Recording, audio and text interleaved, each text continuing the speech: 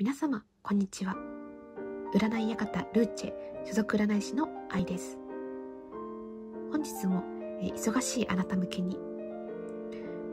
えー、明日の三択占いを簡潔にサクッとワンポイントアドバイスでやっていきたいと思います。では、えー、左側の紫のバラのカード、真ん中の青いバラのカード、右側の赤いバラのカード、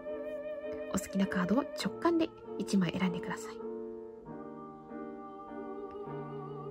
選べましたでしょうか？では左側の紫のバラのカードから見ていきたいと思います。はい。ザ・エンペラー皇帝の聖地が出ました。明日はですねあのとてもあの自信や行動力にあふれたそんな状態になりそうですので、えっと、恋愛面でしたらあの片思いの場合は積極的にアプローチをしたり、えー、恋人とですねあの積極的にあのどこかへ出かけたりとかですね、えーと、してみると良いと思います。えー、お仕事の場合はあのこちらもですねとってもあの行動力にあふれておりますのであの周りの人を引っ張っていくようなそんなですねあのお仕事の仕方をしていっていただくと良い一日になると思います。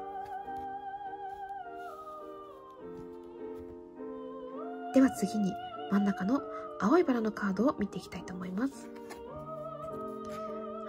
ザ・スター、星の聖地が出ました。明日はですね、あの、希望に満ち溢れて、あの、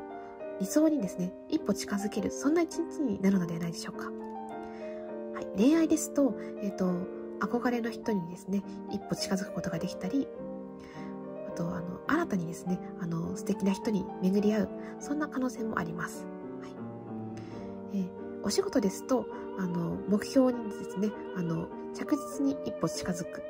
あの、まだ、あの、そこをクリアするという状態ではないんですけれども、着実に、あの、そこに近づいている、そんな状態だと思います。はい。えっ、ー、と、せっかくその、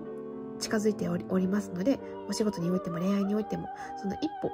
しっかり踏み出していただければなと思います。では最後に右側の赤いバラのカードを開いてみたいと思います。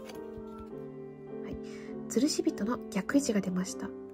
えー、明日はですね、今まであの苦しい状態にあったことに少し解決の糸口が見えそうです。えー、恋愛ですと、あの、自分が犠牲にしていたものがですね、明るみに出てきたり、えー、もやもやしていたことに、あの、の原因がですね、あの、自分の中に見つかったり、えー、そんな一日になりそうです。お仕事の場合は、えー、今までこう苦しかったもがき苦しんでいた状態から立ち止まって一歩を振り返ってみることで、えー、解決策が思い浮かびそうです。ですのであの恋愛においても仕事においても、えーと、ともがきもがかずに一歩立ち止まって、えー、考えてみるというのがあのとても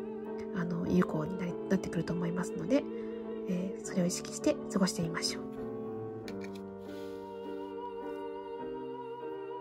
本日のサンタク占いは以上になります。皆様の明日がとても良いものになることを心からお祈りしております。ありがとうございました。占い館ルーチェは2022年3月21日、スピリチュアル界の宇宙元旦の日にいよいよオープンを迎えました。この動画の概要欄にluce のホームページの URL がございますので、ぜひぜひそちらから足をお運びくださいませ。個性豊かな占い師が揃っておりますので、プロフィール欄をご覧いただき、ご予約をくださいますととても嬉しいです。 luce の鑑定は Zoom にて行いますので、占い師の顔を直接見て、そのままあの、占いを受けていただくことができます。その点とてもご安心いただけるのではないかと思います。えー TikTok と Instagram の方も同時にオープンしておりますので、そちらの方もチェックしていただきましたらとても嬉しいです。では、また次回の動画でお会いしましょう。高評価ボタン、チャンネル登録どうぞよろしくお願いします。では、また次回。さようなら。